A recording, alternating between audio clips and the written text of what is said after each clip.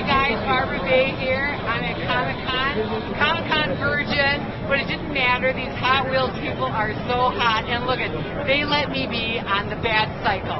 Unfortunately, the Dark Knight isn't here. I'm all alone, but I'm sure I'll show up anytime, so I'm ready. I'll be talking to you later. Bye.